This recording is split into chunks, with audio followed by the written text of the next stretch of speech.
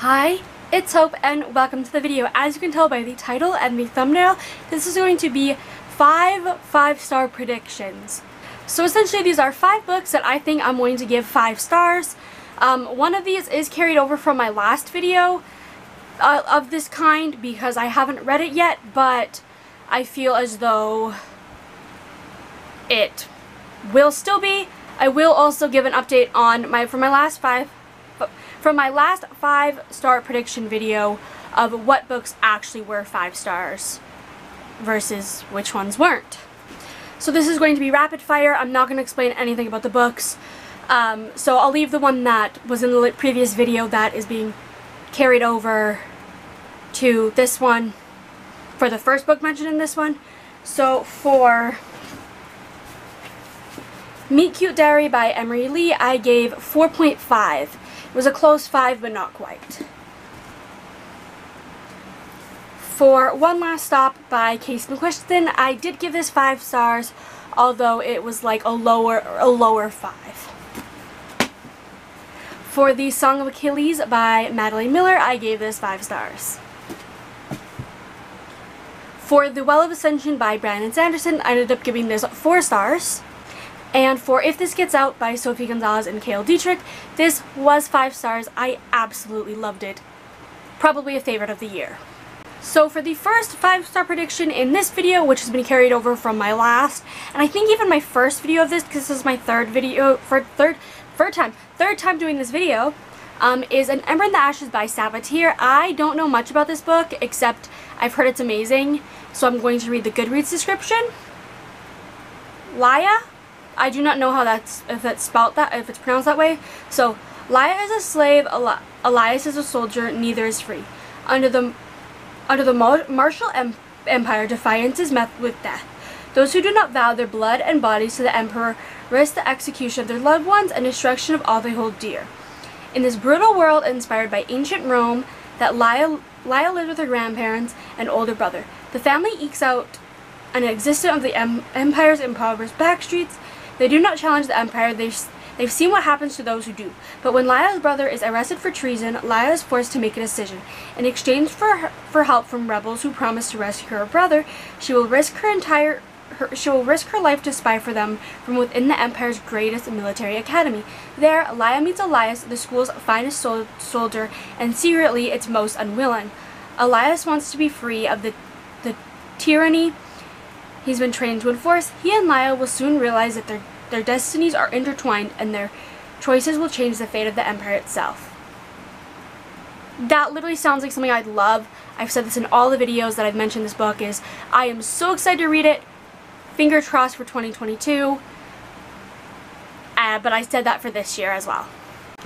So the next book is The Darkness Outside of Us by Eliot Schrefer. I do not know if I'm pronouncing that last name correctly. If I'm not, I apologize. Um, but this book was actually more of a recent edition and I do feel like it would be five stars based on what I've heard and based on other people's recommendations that they give it five stars and we have slightly similar reading tastes so it's a five star prediction. I'm just going to read the Goodreads description. Two boys alone in space. After the first settler on Titan trips her distress signals, neither remaining country on Earth can afford to scramble a, a rescue of its own and the two sworn enemies are installed in the same spaceship.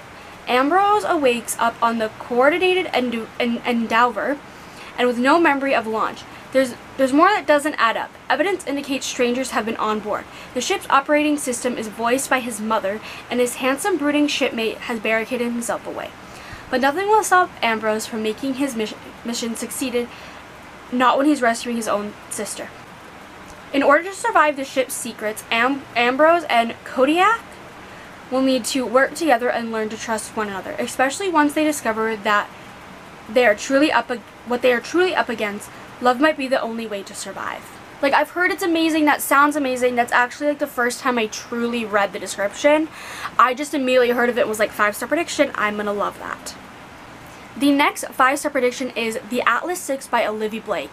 This, again, I don't know much about. I like going into books not knowing much about, so I'm going to read this even though it is a massive description. So, the, exa the Alexandrian Society caretaker, caretakers of lost knowledge from the greatest civilizations of antiquity, the most foremost secret society of the magical academ acad academians in the world.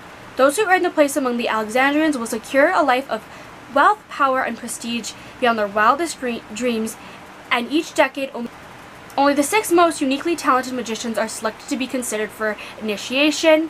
Um, we have the characters things.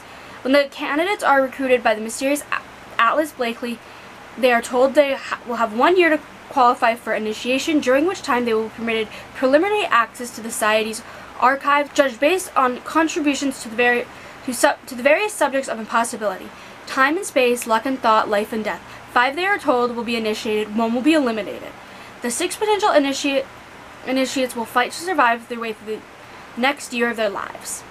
So essentially, six people go into this like competition type thing. Only five make it out. I've heard amazing things about this. Um, I did leave a little bit about out of the description about like the characters because I don't really want to go in knowing about the characters. I know that this recently got picked up by Amazon to be a TV show or movie. It also got picked up by oh what publishing company? Um, was it Tor? Yeah, Tor Books, which is a UK publishing company. It was originally self-published, um, but I've heard that like I just I just know I'm gonna love it. The next book is All of Us Villains by Amanda Foody and Christine Lynn Herman. I'm borrowing this from my library, so I probably will be reading this beginning of January. So like just be aware that this is one that I do plan on reading very soon.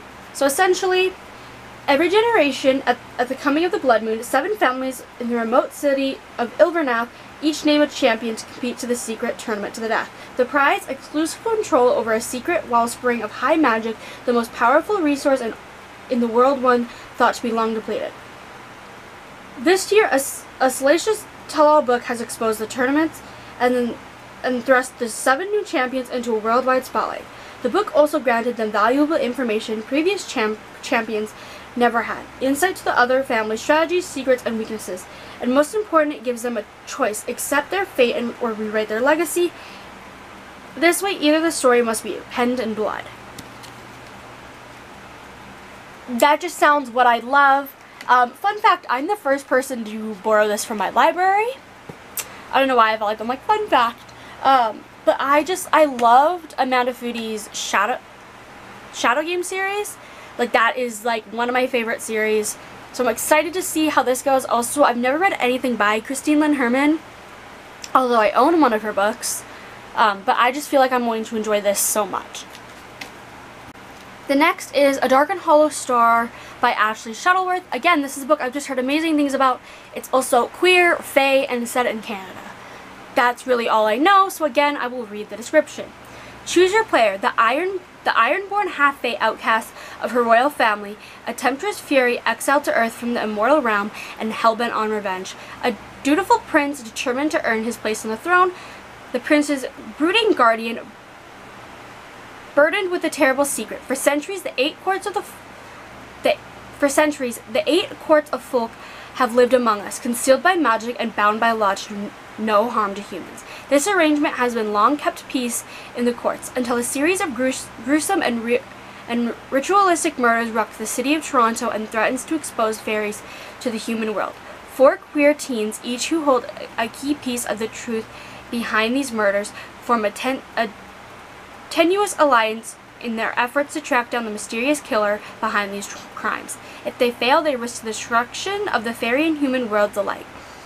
If it's not bad enough, there's a war brewing between the mortal and the mortal and immor immortal realms, and one of these teams is destined to tip the scale. The only question is which way. Wish them luck. They're gonna need it. Literally, literally. Also, cover, cover. I think I saw this cover and just went, holy shit. Um, so yeah, those are five books that I'm very excited for, for various reasons. Um, a lot of them are just that the, the description sounds like something I'd love, or it sounds similar to something that I gave five stars, or like all of that. Um, I really hope you enjoyed this video. Let me know your five-star predictions down below. If you've read any of these and what your rating was, or if you are interested in any of these.